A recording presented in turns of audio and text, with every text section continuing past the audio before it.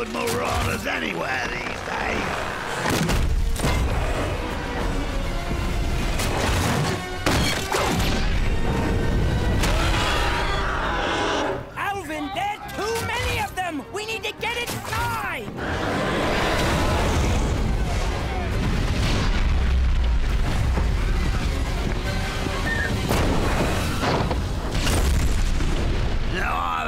With these dragons. Is the ship ready? We still have a little more work to do. That's not my problem, is it?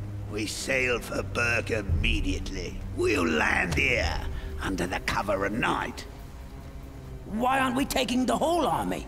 We're not there to fight Stoick. We're there for one man, the Dragon Conqueror. Oh, and you'll have him. We hear he's ten feet tall with the strength of a dozen men. Well, he shouldn't be too hard to find then, should he? I'm telling you, I saw a pair of zippleback feet in Mildew's house. He must have used them to make the footprints of the dragon who supposedly stole the boots. Well, then let's go have a look at them. Yeah, uh, there's gonna be a problem with that. I also saw him throw them into the ocean. I know you're upset about the dragon's son, but you're gonna need evidence to accuse a man of high treason. Astrid will prove Mildew did it. We have to if we ever want to see our dragons again. I just hope they're okay.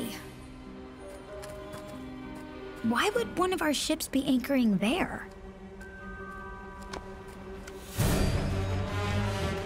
It's not one of our ships. You'll pay for this!